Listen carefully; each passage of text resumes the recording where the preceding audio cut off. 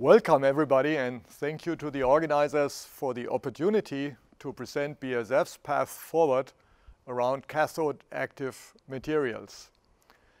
At BASF, we create chemistry for a sustainable future. Sustainability is in our DNA.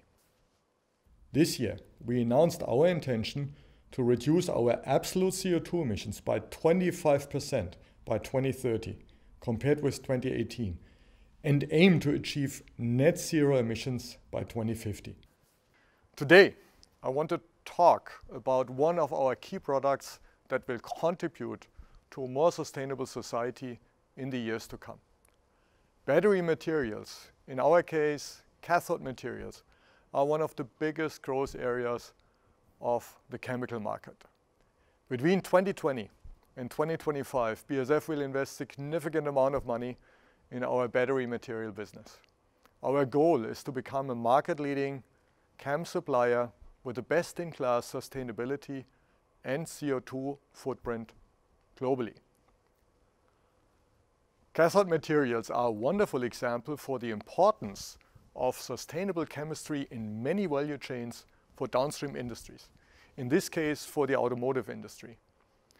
A lot of the sustainability challenges, also beyond just the CO2 footprint, are hidden with the raw materials.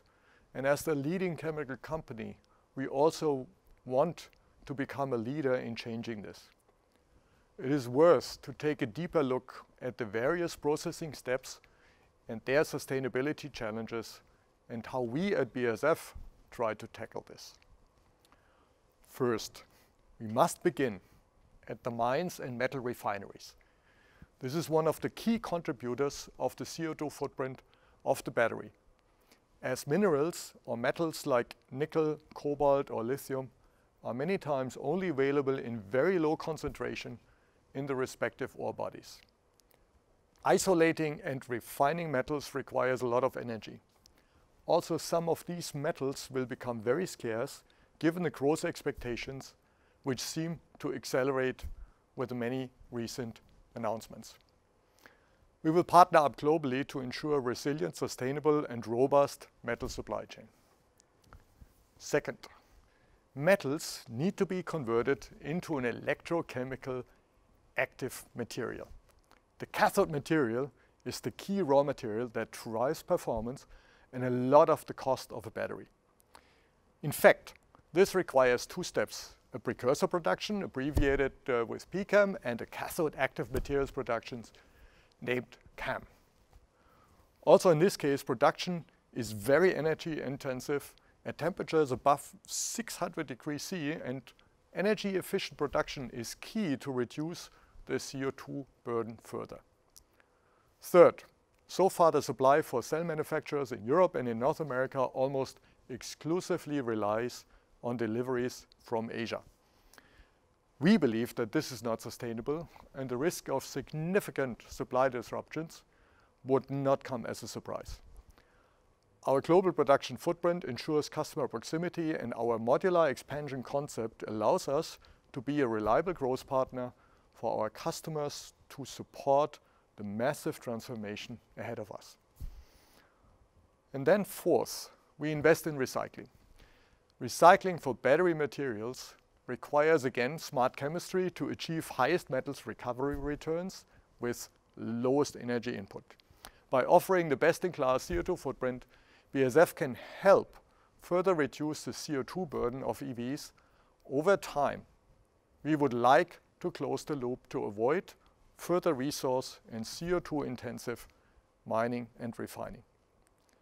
Let's take a look at how we want to tackle these topics. One of the major challenges facing the battery value chain is the supply of metals and offering our services closest to our customers. For electromobility and batteries, we need more chemistry and materials than for a combustion engine and the exhaust system. While for an automotive catalyst, just a few grams of precious metals are enough, electric vehicles will need easily more than 50 kg, up to 70 kg of metals. The relevant natural resources are limited to only a few geographical locations. The metals also are a major cost driver of battery materials and consequently the battery cells. We are responsibly sourcing metals needed for cathode active materials globally to ensure a resilient and sustainable metal supply chain for our customer. With mining partners, we will ensure a regional, resilient and sustainable supply chain for nickel and cobalt in Europe. In Asia, we assess with a partner the development of a joint nickel and cobalt refining complex in Indonesia. There's potential to secure sufficient nickel and cobalt enough for more than 80 KT of high nickel containing cathode materials. We are a founding member of the GBA, the Global Battery Alliance. The GBA currently develops an intelligent tool, the Battery Passport, which will become a digital twin of each battery. It should become a kind of quality seal as it provides relevant sustainability data starting with GHG emissions and social compliance. We have seen in 2020 how crucial securing local supply is for the industry and the global economy. Various supply chains, also in the automotive industry, led to costly supply interruptions. Currently, North American and European supply chains rely almost exclusively on battery raw materials being shipped from Asia. Whilst we see a mushrooming of European cell production capacity, the demand is initially only covered by one-third from European cathode materials production. In case of acceleration of the market development, this gap will even widen. We in BASF have always believed in having the supply chain of key raw materials in close customer proximity. We believe that a local production and local content for battery materials are key to ensure a resilient and sustainable supply chain. That's why we decided to invest into two new production sites in Europe. Our new plans for precursor materials in Harjavalta, Finland, and cathode active materials in Schwarzheide, Germany, will come on stream next year. This will not only shorten logistical routes, we will also reduce our dependence on imports from remote areas. Together with our established production plants in Asia and the U.S., BASF will be the first truly global cathode active material producer in the world to support the rising demands of our customers in all regions locally. And our new modular plant concept can easily be scaled up to flexibly accommodate our customers' demands and to close the gap for local content based on very energy efficient production combined with a high share of renewable energy. BASF is at the forefront of pushing cathode active materials innovation to meet our customers' needs. We have the technological flexibility to support our customers by tailoring the products to their exact requirements. For example, higher driving range or faster charging times. Currently, we offer a broad uh, CAM portfolio in the industry with a focus on nickel-rich NCM products and low or even no cobalt for high energy density materials. The current trend is towards materials with more than 80, even more than 90% nickel. This is far from being easy. Morphology, chemical composition, powder processing, these are key levers to achieve optimal performance. We use special coatings and dopants to fine-tune the chemistry of our products.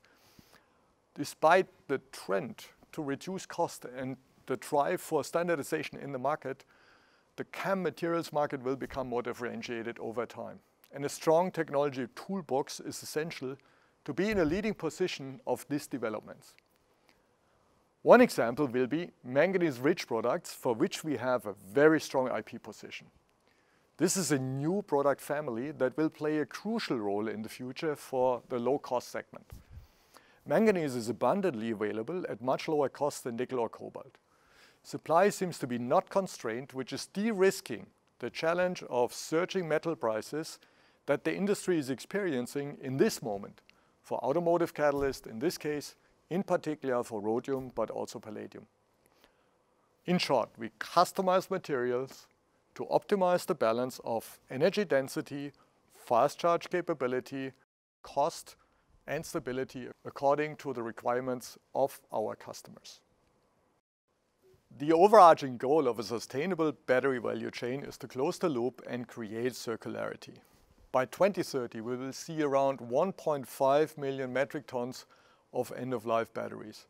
Considering the growing demand of critical metals, the availability and CO2 impact of mining and refining, recycling is the inevitable way to go. The metal content of spent batteries will be higher than what we can find in natural ores. BASF has extensive history in the recycling industry and is a market leader for precious metal recycling of automotive catalysts.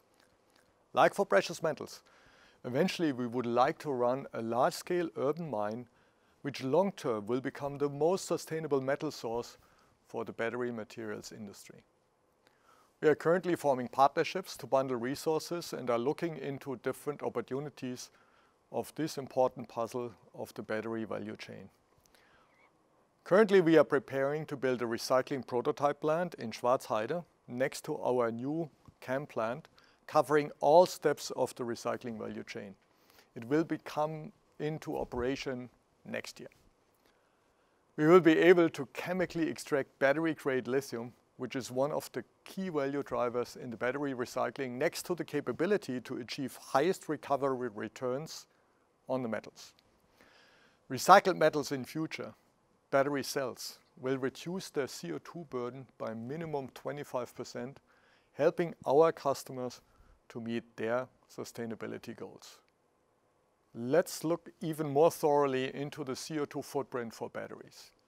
Battery production produces more than 40% of the total carbon dioxide in the manufacturing process of a modern electric vehicle. Half of this comes from the production of the cathode material only. We should be aware that subject to the origin of the battery material, around 13 grams CO2 per kilometer driving range could result from the CAM material alone. This could be even worse in case of energy-intense processes are used along the value chain, which is currently a reality in some of the existing supply chains. With our holistic approach, we can offer CAM products with best-in-class CO2 footprint. There are four key measures behind this. First of all, BASF's production processes are so intelligently developed that they require significantly less energy than those of other players, which today are mainly located in Asia. We are talking about a reduction in electricity consumption of more than 45%. Secondly, our plants are powered by electricity that has a low carbon footprint or is generated from renewable energy sources. And Third, our raw material partner uses a very abundant nickel ore and has one of the lowest CO2 emissions in the nickel industry when producing the metal. And last but not least, fourth, the significantly shortened supply chains contribute their share to this favorable overall CO2 footprint. This means that our cradle-to-grave emissions will be less than 10 grams CO2 per kilometer driving range. Our cathode active materials thus have a CO2 impact that is at least 30% lower than what we see today in electric vehicles on European roads.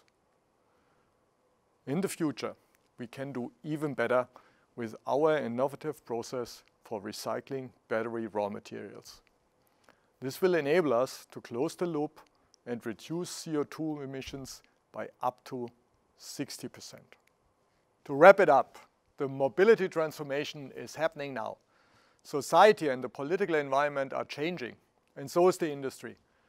And considering climate change accelerating, the industrial transformation is needed at a very challenging pace. We, the chemical and the automotive industry, are charged with establishing a sustainable value chain and taking responsibility for it.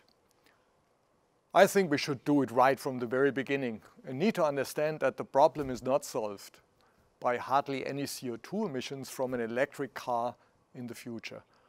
Only a sustainable battery value chain will meet global society's needs and create a true sustainable future. We will not stop there, but also work on disruptive innovations for the future. We partner and research on next-generation systems, although the chemistry for solid-state batteries has its known challenges, and it will take a while.